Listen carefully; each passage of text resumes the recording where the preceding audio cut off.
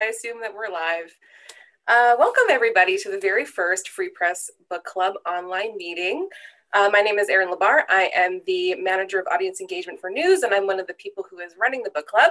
I just wanted to pop on really quick here and thank you all so much for not only registering for this new thing that we're trying, but being so engaged and and taking part in the Facebook group and sending us questions and emails. And we read everything, and we really appreciate um, all the positive feedback you've been giving us and um, that you're tuning in tonight. So um, before I get on with my housekeeping, I'm just going to introduce the three people that we have with us tonight. So in the bottom left corner, we have uh, our host for tonight, which is the Free Press Books editor, Ben Sigurdson. And then in your top left, we have the break author, Katherena Vermette. And then your bottom right corner, we have uh, Angela to- Togerson. Is that correct? Torgerson. Yeah. Torgerson. Yeah. Oh, sorry. I practiced all day and I still screwed it up. Um, she's repping McNally Robinson tonight, and she's going to do uh, a little intro in a second. Um, but just before we get started, uh, a couple housekeeping things. Uh, if you want to comment, I see a lot of you are already taking advantage of the chat. So if you have questions or comments, or you want to kind of have a side discussion with anybody, um, feel free to get in there, and uh, I'm going to keep an eye on that. So if we have more questions coming in, I can funnel those to Ben. Um, please stick around till the very end because we're going to announce our June pick at the end of this meeting and you don't want to miss that. Um, we will be sending an email out tomorrow morning with all the information about that as well, but get a heads up tonight. Um, and then for those who are Free Press subscribers and who are eligible for the draw, I'll be doing that tomorrow morning. So keep an eye on your inbox. Uh, and if you're a winner, I will be contacting you directly and you'll have next month's pick sent to you. Um, and that's pretty much it for me. So I'm gonna pass along to Angela to kind of get the formal part of the evening kicked off. Hi, everyone, and thank you so much to Ben and Erin at the Winnipeg Free Press for coming up with this great idea and bringing us all together. Uh, and a truly heartfelt thank you to Katherena Vermette for this extraordinary book and for introducing the reader to these amazing characters that speak to the strengths of Indigenous women and the power and love that family has. Uh, the Break is one of those novels that you never forget the first time you read, you read it and what you were doing. One of the great advantages of being a bookseller and working with McNally Robinson is that we often get to read books first. I'll never forget Chris Hall, our co-owner, uh, handing me a copy of The Break and asking me if I would read it. When I finished, I immediately turned back to the first page because I was completely loath to let go of these people. The characters, the women that Katherena has created, don't simply leap off the page they become real, they lodge firmly in your heart, and they stay with you. She takes you on a journey with this family, from happy memories and traditions to tragedy filled pasts, losses, and disappointments, heartaches and sorrows. Yet these are resilient women who find joy in their lives and their families and each other. The ferocity in which they support and care for one another is powerful, more powerful than I think any other book of a multi generational family I have ever read. You hurt when they hurt, you sob when they cry. I actually finished reading this book on an airplane, and I'm 90% certain I terrified my seatmates. and most of all, you hope when they hope. This is a story that begins with an unspeakable assault and shocking crime. But neither of the two young victims, Emily nor Ziggy, are simply described as that or allowed to be seen in any way as a one dimensional victim. And in turn, which is a truly incredible feat, Katherena's character, Phoenix, isn't just simply the perpetrator or the villain her loneliness, her complete inability to care for herself because no one has ever shown her how, and her heart-wrenching, background makes you just want to reach out and wrap your arms around her. Actually, at the break's launch, I had to physically restrain myself, Katherena, from asking you, just tell me, the family's going to be okay. They have each other. Just tell me that Phoenix is okay as she could possibly be and is still here. After Chris and I had read the advanced copy, we talked about how many copies we thought we should order. And we just said all of them. We want all of the copies. So we finally decided upon a thousand and had to convince uh, the rep at House of Anansi that yes, we were truly serious. We wanted that many. I believe she's actually watching right now. So if you need backup on that, she could provide it. It's pretty rare for us to order books in those quantities, but we sold those first thousand copies and haven't looked back. The break sat on our bestseller list for so long, well over a year, that still, whenever a customer asks for a copy of the book, our eyes immediately go to our bestseller table before we even begin to look over and lit. In fact, it sat on our bestseller list for so long, it made us realize that we had no idea what the actual record was, and that anything would have to compare to it and probably won't until there's another Katherena Vermette book. So thank you again for all of joining us for this discussion from the safety and comfort of your homes. Thanks again to Ben and Erin and the Winnipeg Free Press for allowing me, myself and McNally Robinson Booksellers to take part. And thank you again, Katherena, for this extraordinary book, who it is now my privilege to introduce to you all. Thank you. Oh my God. okay. Um, and who can clap. clap Thank you. That was that was so touching. Thank you. Thank you for taking the time to. Yeah, I'm I'm moved and I'm and I'm speechless, and I'm going to try to follow that up. Well, um, I am honored to be here on this book club, and I'm honored that the book was chosen. I, I my immediate reaction when it was chosen was, no, it's it. That's a really sad book. We need happy. We need uplifting. But um, I I do I you know I did take it because it was really cool opportunity. um, but also like I do think in this time we need to be reminded of these societal challenges that are still almost in many ways exacerbated during this time.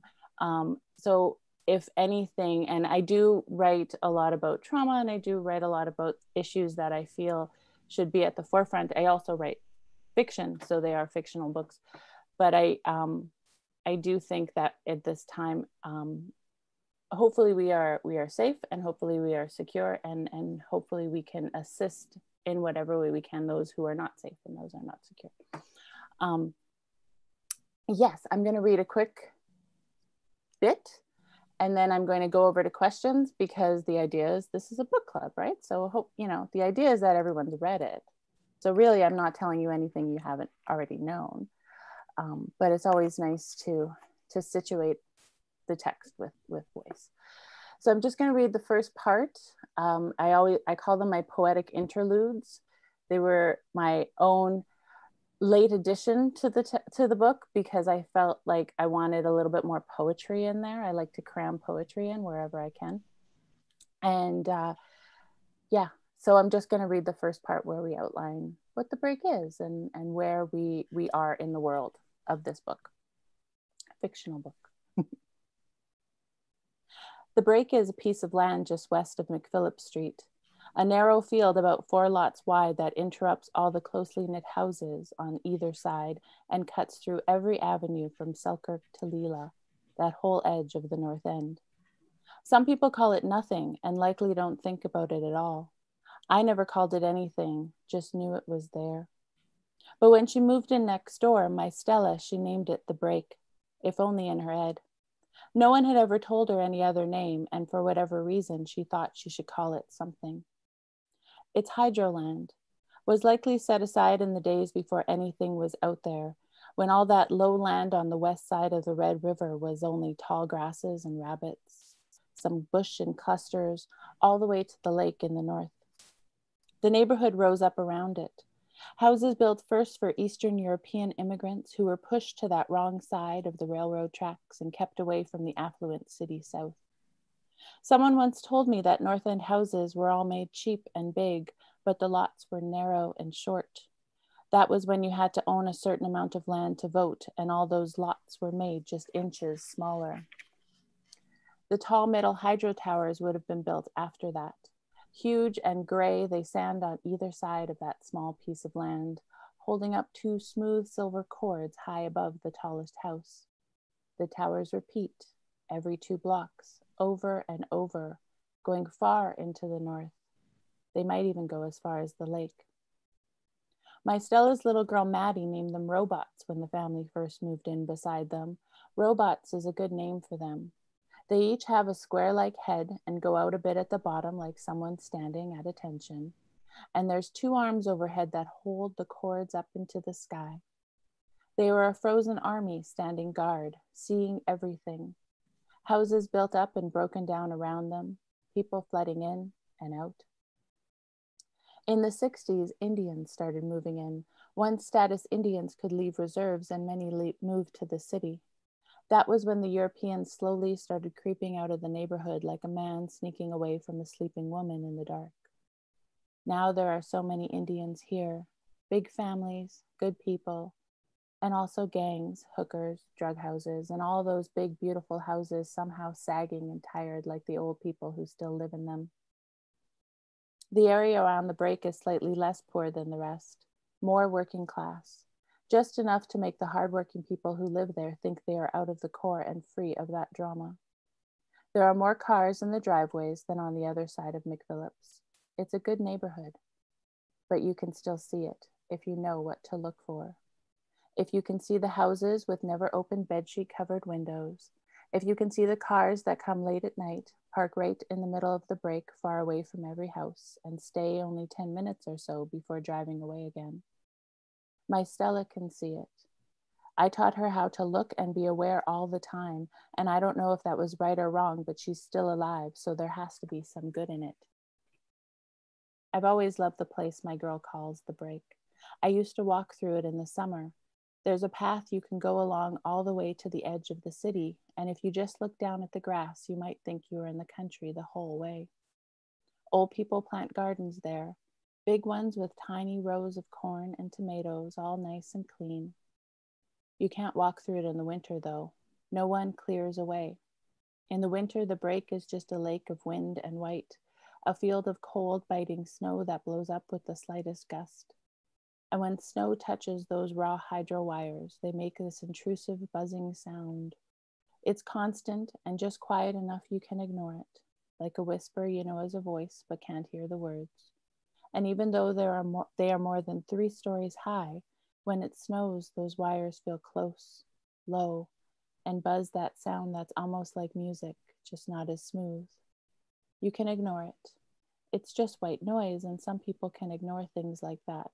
Some people hear it and just get used to it. It was snowing when it happened. The sky was pink and swollen, and the snow had finally started to fall. Even from inside her house, my Stella heard the buzzing as sure as her own breath. She knows to expect it when the sky fills with clouds. But, like everything she's been through, she has just learned to live with it. That was just Perfect. Thank you so much for for reading that that introduction to the book. Uh, for those who don't know, uh, the Free Press building is up on Mountain Avenue, which is like is very close to the break, and so I drive through and around and past that area all the time. So when I when I first started reading this book for the first time, I was I was completely floored, and I was it was it just sort of as I was reading it every day, I would drive sort of take little turns and and, and sneak around past um, uh, what's the um, can't remember the name of the street. Anyway to get to work. And uh, and it was just so it was so visceral. And it was uh, you know it was I don't think it was in the middle of winter when I would have read it but it was it was in spring and and uh, it just I found myself slowing down and like a couple times I actually pulled over and just sort of took it all in. It was just so such a, a visceral thing to to to be be near. Um, what is it like to you uh, for you to sort of um, you know, a few years out, go back to this book. I mean, it, it's sort of like another, a second launch for it, right? In the sense that it's the same kind of format that you would have at McNally without mm. uh, signing books and stuff like that. But um, what, what's it like to sort of revisit it a few years on? Uh, and I think there's a question probably near the end of this discussion, probably that will tie into this a little bit as well about your next book. So, um, it is strange. It's strange that it still has a life um, and reading that passage, I'm editing all the justs. I have a problem with the word just. Um, I don't know why. What? Sorry? Too many or not enough? There's way too many. We had to do edits for just and that. I, I overuse those words. So that's always like, you know, when you're reading your own stuff, you're always editing as you go along and you really get disgruntled that it's in print and you can't change anything anymore. um, but it's really strange to me. Like when I this book was a long time coming. It took about 10 years or so to write. In parts, it started as a series of short stories, um, which I wrote um, while I was at uh, UBC. I was completing an MFA at UBC. And when I put them all together, I knew they had to be a novel. I, I felt they felt incomplete. You know, I, I they I attempted to write short stories. I was really just writing like there should have been ellipses at the end of all of them because I just wanted to go on and on and on, which is proof that I'm still writing about these people, you know, five years later. Um, I just go on and on. Uh, so, but I really didn't know that this book would have a life. It was really something that I needed to write and figure out for myself. It was something I wanted to write and figure out for the people that I loved and the people that I felt were connected to my inspiration for this story. But I honestly thought I would be run out of town with pitchforks and you know, and torches, you know, because it is a really hard book in some places, and uh, that's one of the reasons why I, I I really fought for the trigger warning at the beginning of the book. I was told that we don't do that in can- Canadian literature mm. um, by by someone, but also because most of my readers of the book of the the pre pre ARC book, pre um, advanced reading copy, uh, we're survivors. We're survivors in one way or another, and you know my my information feedback from them was that they appreciate trigger warnings because it really helps situate and prepare you. Um, and I know myself, I like trigger warnings just so I know what I'm getting into. Uh, so I really put that in, hoping to uh, stave off some pitchforks and torches. Well, you know, that's a, and I'm glad that you bring that up because I'm sort of making mental notes um, myself for, you know, subsequent months worth of, of book clubs that we'll end up doing or whatever. But that would have, um, I feel like that probably would have been something that would have been useful for us to include as well. So I, I take that into, you know, into consideration this going forward for sure. And uh, if, if I could go back and do it again, I, I certainly would. I hope that I hope that uh, people came away from from this book with a, a really enriched experience of you know of, of, life here, although an unnamed Winnipeg. But but um, but still, you know, I, I realize that there are, are, sections that would have been quite um, yeah triggering for for people, and and probably should have have covered that off the top. Um, uh, that, it is at the beginning of the book and at the beginning of I, yeah, I true, and everything. True. Like, yeah, it's true, there. True yeah. kind of know from the description yeah. we're going to be talking about some stuff? Yeah and i mean you were you you also mentioned you know sort of using this book as part of part of our book club and it being sort of a sad book. And that was something after the fact where i was like well yeah maybe i should have picked something that was a little you know more upbeat and easygoing. But your your book was one of the first that i thought of. And just because i thought you know we're working with local authors and this is such a hyper local book despite the fact that winnipeg is not actually technically like named anywhere in it, um, it the landmarks are so familiar. Um, but it was it was one that I thought was just like so still worthwhile and so important for to to for, for as many people to read. So um, thank you again for taking part. Um, uh, I was going to maybe just jump into some, you know, like I was saying just before we started broadcasting or whatever, is this what you call broadcasting? I don't even know. whatever, doing our little yeah. virtual book club, that there were, you know, at, at McNally launches, which I love and miss so much. Um, you know, there's. Yeah, I know. Yeah. and, and and and John Taves, who we were talking about earlier as well, who hosts a lot of them. We miss him as well. Um, but uh, you know, there are always uh, a, a, number of in interesting questions after the you know the little Q and A between the the host and and the author or whatever.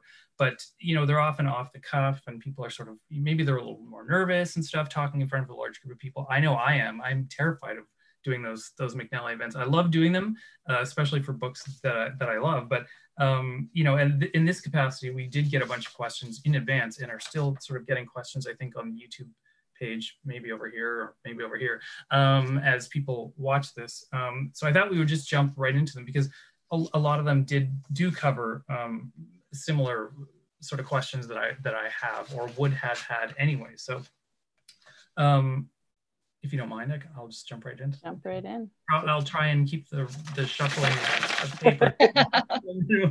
um, although you know, there's so many different things you can take advantage of uh, in a virtual tasting or not tasting. I'm used to doing online wine tasting, virtual reading. Um, that uh, it's it's a little less nerve wracking. So anyway, um, so first of all, someone had a question. Um, Ruby Shilkey had a question about the significance of the title. Why is the patch of land referred to as the break? I mean, you sort of did touch on this in in this passage that you just read, but is that a, a term that local North Enders use, or is it a name that you just sort of pulled out of out of nowhere?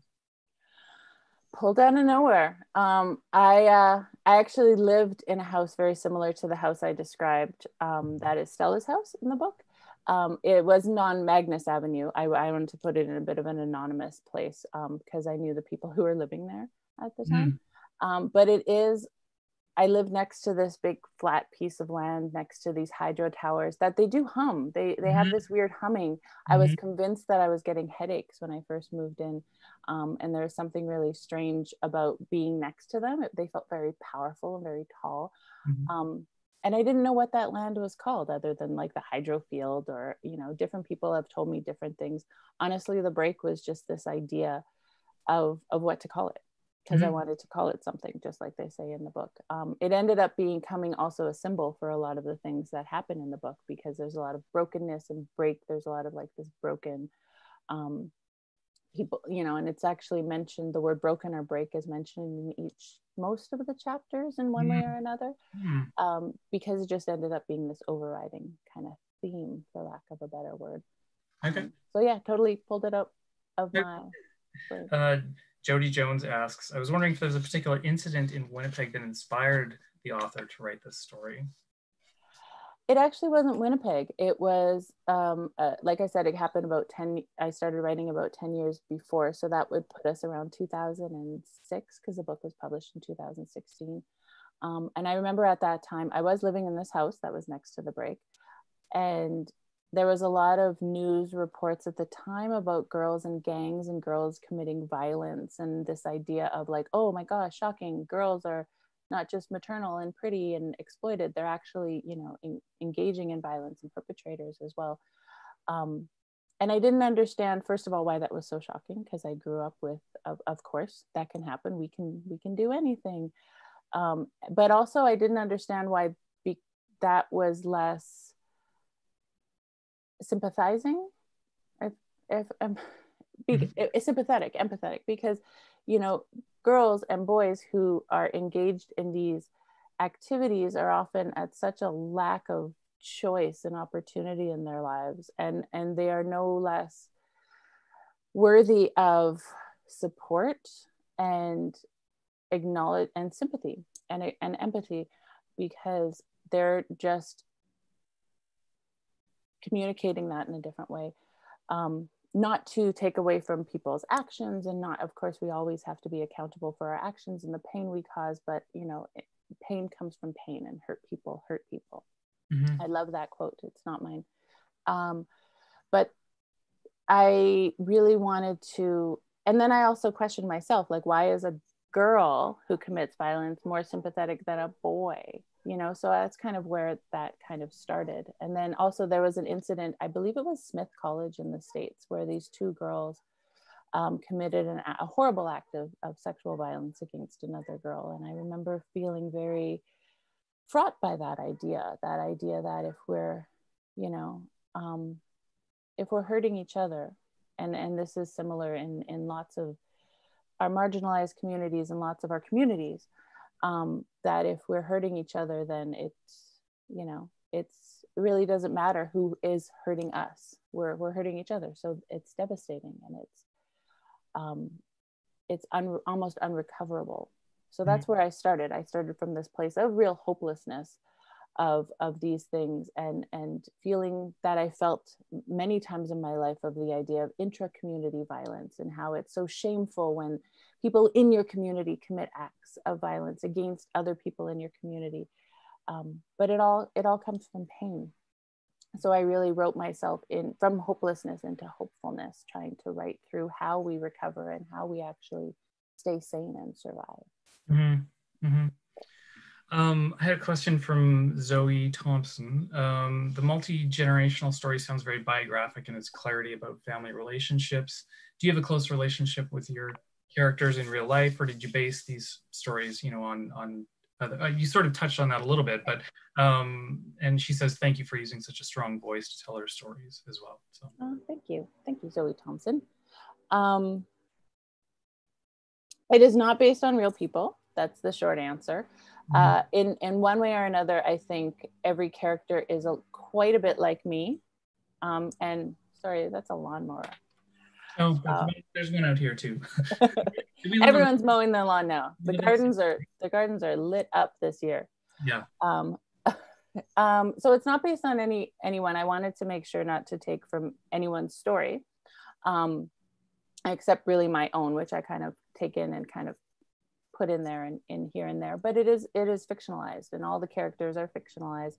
They're all a bit like me in all the ways I didn't mean them to be, and they're all a bit not like me. Um, I, I do think I do think all writers do that. We all just were writing ourselves into things over and over again. Mm-hmm. Um, but I did want to make sure it was fictitious. I did want to make sure that the um, the lives I was portraying was, you know, not some symbolic is the wrong word, but they, I didn't want to take from anyone's story. So I did have to make sure they were over here in that world of make believe, so that, um, but also real and and real to to life. You know, mm-hmm. realism is what they like to call it. Mm-hmm. That, yeah, that sort of covers a, another question that Melinda Kozik had. I found this to be such a poignant story. Dreaming back continuously to read the and finish the story, but I always felt a cloud of sadness. Did your own life experience contribute to the story, or did it reflect that of people you knew? So, sort of covered that. Um, unless you had anything to add about that. No, I mean, I uh, I write fiction for a reason. I yeah. there's certain parts of my life that I've I've shared openly. Mm-hmm. Um, but also I, I write fiction because I like to explore it in a way that um, is a little more freeing because I'm not, you know, I don't ha- I don't want I'm not interested in writing my story. I mm-hmm. also think that my story is also attached to so many other people's stories. So the permissions alone would just take up way too many time too much well and but that that is sort of reflected in in the book in the sense that there there is all these these widespread connections in this large sort of family structure that um, you know that sort of plays throughout and and you know has people probably sometimes flipping back and forth to the the little family tree at the beginning. Um, this time when I read it this time, I it is when I, I as soon as I sort of jumped into it, it was like everything just sort of fell back into place. But the first time I read it, I found I found it was quite helpful. But um, uh, sort of leapfrogging off of that, there's a question from Lynn Schillinglaw who says, I love how each chapter focuses on the perspective of one character, which, by the way, are also believable in their traits and dialogue with others. Uh, her question is, why did you choose Lou as a first person narrative character?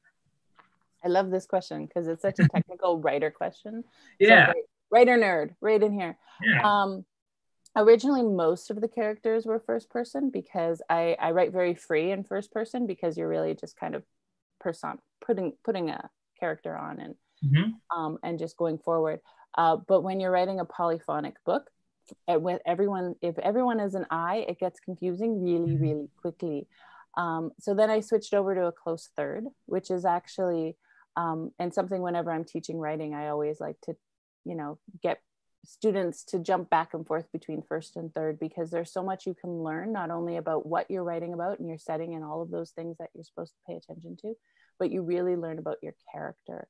And i'm actually going through this right now in my in my my new novel that i'm writing is i switch some first to thirds and, and back and forth. And um, and it's it's a really fun well fun is not the right way to describe what i write about um, but it's it's an interesting exercise to figure out what I'm missing because a, a, first person, you're really having to stay so super close. You're st- literally stuck in their brains. Mm-hmm. Um, and if you, and a third point, third point of view lets you kind of step away and kind of explore. And it also lets the character hide from you a mm-hmm. little bit, which is incredibly important in a lot of stories, um, particularly this story, because the information is revealed in the book, like in, in, in steps. Mm-hmm because everyone's kind of you know an unreliable narrator. Uh, Lou I kept in first because Lou keeps her cards very close to her chest. She doesn't reveal what's going on in her life, um, and she's going through a lot of heartbreak and trying to um, compartmentalize that in order to help and assist with her family. So her outward face is very, very different than her in, inward face. So I kind of kept her really close to me just so I could reveal all that. And the other first was uh, was Flora, Kukum Flora, who is only has one chapter toward the end of the book. Um, oh, that's because, right. Yeah. Yeah, because I because uh, she just came out that way, and she was my Kukum and uh, my fictitious Kukum. and really i just had to do whatever she said to do mm-hmm. um, you can't you know i was just respecting my elders she wanted it like that and that's how she got it that's fantastic i did notice some portion some sections of the book would start off um, this is sort of a book nerdy follow-up question as well like so would sort of start off in present tense and then sort of almost flip into into past tense as they as they went on is that i rely I... well might have been typos you never know Oh, okay, well, I have an advanced copy, so it's. It, but yeah. I, I, don't know. It just felt that like riddled with typos. Would start in, in present tense, and then it would maybe it would just sort of like flash back to a previous event where it would yeah. then go into into past tense. I really like that. I thought that was a, a really cool uh, tool. It was a lot of flashbacks. It was a lot of because so many of the characters were kind of stuck alone, mm-hmm. particularly toward the beginning, and then they all come together. Mm-hmm. Um, lots of flashbacks, lots of people really reliving a lot of their stuff because mm-hmm. I, you know, and I think true to to traumatic events, when when one thing happens, it's almost like this uh, domino effect of all the other things kind of come to a head, and you really think about your own stuff. And mm-hmm. I think uh, you know it kind of kind of works from there. So yeah, there's lots and lots of flashbacks. Very mm-hmm. much living in the past and in a lot of ways. Mm-hmm. I thought it connected some of the some of the characters, you know, even some of the the sort of um, outlying characters with the the overlying, you know, this multi-perspective character narrative so so beautifully. So I, I thought it was just so well done. Um, but speaking of other characters, I did we did have one late question here from. Uh, sorry, I'm just the reason I keep looking down every once in a while is because Erin keeps sending me uh, messages or uh, with uh, other questions, and uh, so I'm trying to like recompartmentalize and reorder all these questions. Um, Judy Parker sent in a, a question. Um, how do you respond to the criticism from some of the panel on Canada Reads? Did you, I don't know, maybe Canada Reads, um, that, the, that the, oh, you're laughing already. I like it. that the male laughter. there was cursing in our back office during that panel, oh, just so you know. Yeah. the male characters were not made, in, uh, were not sympathetic or were not made important enough. I know that I disagreed with the criticism as I saw the story as mainly about the women and their connections. And I also felt that the men were well drawn and I had empathy for them as well, but the women were where my real focus lay.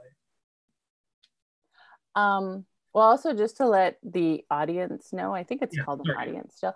I don't see, I'm not on the YouTube, so I don't see the questions. Otherwise, I you know, answer them and be very distracted. So, mm-hmm. um, uh, Canada Reads was a wonderful experience. Um, it's not the kind of thing you turn down. No. Um, no, no, no. And, and uh, um, but it's, I don't know. I didn't watch it. I was just talking to Candy, um, Candy Palmater, who was my um, debater extraordinaire. Uh, we talked a lot beforehand and then after um, she was very very upset at, at how everything went well but i by all accounts, she did a brilliant job. I couldn't, I couldn't uh, watch it myself. Yeah, I, I get um, that. I get that. Yeah, I couldn't watch it live, and then when I found out what happened, I just couldn't. Um, I wasn't overly. I was a little perturbed. I wasn't overly upset. I mean, mm-hmm. it is a reality TV show. It's mm-hmm. our wacky Canadian reality TV show where a bunch of celebrities get together and fight about books, which yeah. is fabulous. Yeah. Great, but. Uh, I mean, and it's a reality TV show, so you have to make up, you know, conflict and and and the drama. And I mean, I they're valid con- criticisms, sure. Um, I was trying to portray the men as again true to what I what I know and what I love. Um, my husband really took a lot of offense to that because uh, what was going on, just because it um, he always stresses this idea of um, uh, of the indigenous man and he, he is an indigenous man and and he always says like the indigenous man you know when a woman tells you to do something you just do it. That's the role of the indigenous man.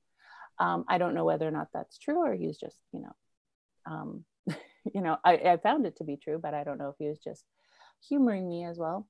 Mm-hmm. um, it is what it is. I tried my very best with with the men. Um, and uh, I did write one character who was a like a, he was in third person, but a one main character was Tommy in the book, and he kind of saves the day in the end. So, and he, I thought, you know, he's a very strong kind of character, even though he was strong. And I love the fact that he went to his mom. Like when everything was falling apart, he ran home to mom, like every good boy does. Yeah. that's, that's apparently how I write men characters.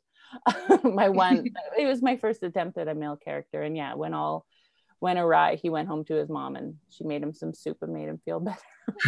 well, I do have a, I do have a, a, a, a, associated question with that from a from a reader as well from Dean Scaletta. Tommy is a character um, doesn't really figure it all in the last 50 pages of the book, even though it was his worth ethic and tenacity that ensured Emily's attackers would face justice. Uh, that last passage that includes him is where he and his mother chat about his relationship with others with whom he shares a heritage, uh, albeit not a skin tone. Um, and then, of course, the Supia. Was there a reason why his contribution to the storyline ended where and when it did?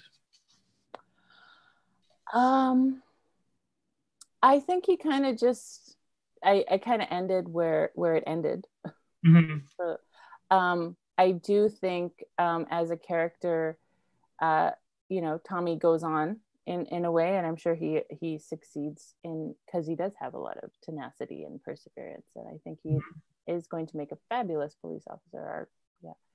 Um i just i think that he was an he was an ally to the story. He was an he was an assister to the story. He was a helper. Um, and that was his role in the story uh, to to make sure that uh, there was some kind of completion and closure. He was also the person, like in a technical way for for the manuscript. Um, he was a person who connected a lot of dots, and he wasn't really connected connected a lot of dots, but wasn't physically mm-hmm. connected to all the other mm-hmm. characters. Mm-hmm. So that was kind of his function in the story. I mean, his function as a character, I think, was to kind of he's grappling with a whole bunch of things at the at the same time as as we all are, as all the mm-hmm. characters are, as they're doing one thing um, and I really feel like with that arc, again, going home to mom and getting some soup and answers, um, really kind of completed him for, you know, perhaps for the time being, you know. Mm-hmm. Yeah. Okay. Uh, well, I've just got a, f- a few more questions. We'll sort of try and uh, I'm gonna. This one is sort of long It has about six questions in it, so I'm gonna try and condense it to a, a couple. um, I'm curious about uh, Judy Dekema says, um, I'm curious about the use of the word home used when members of the family left Winnipeg to visit their ancestral homes. Does this mean that the individual family members don't connect with Winnipeg as home, didn't feel at home? Is this a common sentiment among amongst the Indigenous people slash families who have moved from their First Nation to live in Winnipeg? Uh, also amongst Indigenous families born and raised in Winnipeg. Um, and maybe I'll stop the questioning. Um, wow, yeah, gold star for Judy. Um, I love these questions, by the way. It, you're right. When you come to when it comes to online and like pre-received questions, people mm. go all out. Yeah. I, I did yeah. my my my graduate studies online, and you really go all out with the with, mm-hmm. with the questions and whatever. So gold stars all around. Totally. um, I it's a hard question to answer. I I have to justify. I have to start out saying that I'm I'm only talking about you know certain perspectives that I am aware of and my own perspective as well. I, I do not in any way speak for all Indigenous folks um, ever. Um, I do know the, the idea of home and the idea of going back home is is something that I've always just known in the vernacular and the slang and the in the way um, we uh, people have described the place that they are from, their where their family is, and that's not necessarily their ancestral home. That tends to be um, a reserve ship or, a reserve or a township um, where their families have been for generations. You know, that's not necessarily where people have been traditionally for for time immortal. Immortal, yeah, that's right. Yeah. Um, I think, um, but it's it's it's that connection to that home place for for lack of uh, for lack of a more accurate maybe place to, to be. Um, so the idea of if your family is from a reserve or from a town like a Métis town or something, the idea is that's home. Then you go back home and where you, you know, um, and where's your back home. Uh, my family has been in and around Winnipeg for several generations. So I am one of those um, Indigenous people and Métis person who uh, has been um, very urban for a very long time Um, and that's for, for many, many reasons. One, because we, we didn't have a land base that we were never granted a land base. Uh, so, and, and also because uh, for many generations, um, the Métis people moved quite extensively throughout Western Canada, and my family was no exception. Um, so, as a Métis person, um, speaking to people who had that kind of town or that kind of, you know, reserve or that kind of back home, it was always this idea of of envy because I didn't have a place necessarily that I could connect that to. The only place I had was was Winnipeg, and the city is is many things, and it's many many beautiful things, uh, but it's by by no means um, necessarily Métis exclusively any longer. Um, though I don't know, David Chartrand is working to kind of correct that with the purchase of the Bank of Montreal building, and I hear other buildings too. I'm just kidding; we're not taking over anything. It's okay. Um, but it does, it is some, I have to say, I really welled up when I saw that Métis flag over top of the Bank of Montreal building at Portage and Main. I think it's a wonderful symbolic gesture. Mm-hmm. Mm-hmm. Yeah. I totally agree. Um, okay, so I think there's a couple other questions that sort of they sort of got into characters and and where their where the characters went after the book, and so it's it's hard to sort of you know, hypothesize or sort of speculate and well maybe they did this maybe they did that. Um, uh, so maybe one way we can sort of uh, tackle that is maybe um, talking about your next book which has been announced. You uh, signed a two book deal correct? Mm-hmm. with Hamish Hamilton. Um, uh, the strangers will be coming out in the fall of next year. Is that correct? Yes so and, far yeah. yeah. yeah well it, it, it's true that's a that's a good point actually everything is in flux right now books that are, were supposed to be coming out you know last month have been pushed back to and um, i'm sure angela can attest to this as well to the fall yeah. next yeah. year to mm-hmm. ebd sort of thing so i mean if uh, you know hopefully hopefully things won't change it's a long enough sort of lead time that uh, that everything will sort of stay the same and and hopefully the situation will have changed a little bit as well um, but maybe you can um, you can give us not necessarily sort of like the the, the lowdown on what's for sure going to be happening, but uh, Kelly Friesen, who is a teacher, uh, asked about her your next book, The Strangers. Uh, she said, "My students have hypothesized that the title refers to Phoenix's family, and the book will focus on them." Um, she says, "Can you tell us if we're on the right track or anything else about the upcoming book?" And I I always sort of hesitate to ask authors about this because I know that they're quite often they're like, oh, I don't want to say too much, you know, because probably between now and then, like everything will change, right? But it sounds like you've got at least a bit of a inkling of where the strangers might be going and then is set in the same world as the break i understand it is the same world and uh, yeah gold stars all around for miss friesen's class um, Phoenix Stranger, her last name is Stranger. So the strangers are about the strangers, her family. Mm-hmm. Um, she is the only character that is repeated in the book, and the only character from the break that is repeated. The other ones are relatively new, except for her mother, who um, appeared very briefly in the last book and um, or in the break. And we do get quite a bit of. We knew know a lot about Elsie, Elsie Stranger, when we were coming in because she's quite revealed as she's one of the stories that Stella recounts um, when she's going through her um, spiral. And also, we meet her very briefly at the end of the book where she uh, greets Phoenix at the Remand Center. Um, I I feel like we're I'm set. I always feel like when I'm starting a book that I never like to talk about it too much mm-hmm. um, because you know it does change so many times. I feel like now I'm almost in a place where I think it's all settled, um, and it is a continuing story of a sense. Um, it is also a complete offshoot. It is the story of this family kind of exclusively, and we don't. And it happens in the events happen after the events of the break, so they are touched on, but it is it is something new that's happening. Um, and I and I really didn't mean to to, um, but it is its own standalone book because I did want to write this kind of family saga. It's very much an entrenched French Métis family, um, which is very different than the fam the all of the families in the break um, because there's several different um, there's Métis, there's French Métis, and there's Anishinaabe. Um, so it is something different. It's very much it's stand its own thing.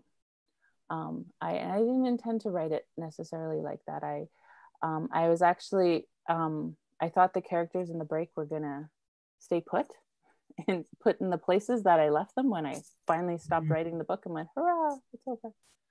Um, but uh, yeah, I was actually at a writing event um, not too long after it launched where uh, I forget what writer said that, you know, whenever she wrote her novels and the characters just left her um, and they went away into that neither world that characters go to. Um, and it occurred to me that these characters had just kept going on and on for me. And I, maybe because I tend to go on and on and on, I don't know. Um, but they became very close. They were with me for 10 years.